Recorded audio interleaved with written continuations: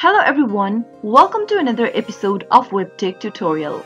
In today's video, I'm gonna guide you through how to share your screen on Omegle. Watch the video till the end and don't forget to subscribe to our channel by hitting that subscribe button. Press the notification bell so that you'll never miss another upcoming upload from us. To share your screen on Omegle, the first thing to do is to go download OBS Studio. In my case, I've already downloaded the OBS Studio. I'm currently recording this video with it. If you've not downloaded the app yet, simply go and open up a web browser. In the search box, search for OBS Studio, download and press enter on your keyboard. Click on the first link that says download OBS Studio and from the official web page of OBS, scroll down and select one of the downloads options. Once you download OBS Studio in your computer, the next thing to do is to download the OBS Virtual Camera as well. From your web browser, type in OBS Virtual Camera and press enter on your keyboard.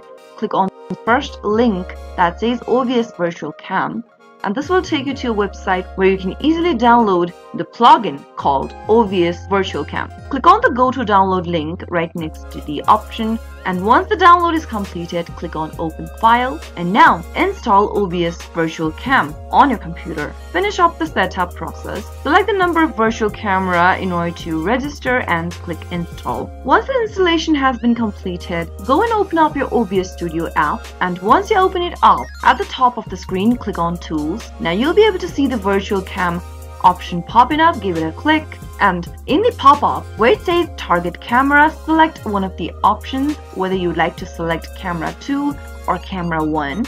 In my case, I've added only two cameras, so let me click on any one over here between 1 and 2 and now click on start. You can close this pop-up now and go open up a web browser. Go to the Omegle official website, type in omegle.com into your search bar and press enter from the official web page, scroll down and start your video chat. Once you end up in the official web page, click on the video option at the bottom right. In the pop-up, click on both of the boxes and click on confirm and continue. Once you are inside the video chat, go and click on the camera icon at the top right and click manage. Scroll down and under all permissions, click on camera. Click the drop down right next to camera and select OBS Virtual Camera. Once you make this selection, refresh your Omegle.com webpage one more time and you'll be able to share your screen right where your camera is popping up right now. That is how you can easily share your screen on Omegle. I hope the tutorial was helpful to you. If it was, go ahead and give us a thumbs up.